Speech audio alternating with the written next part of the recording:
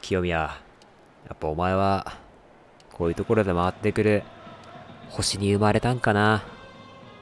うーん。やっぱここで見ていけみたいなそういう器になってほしくないよなお前はな。そういうことやな。ここで見ていくような選手になってほしくない。見ていったな。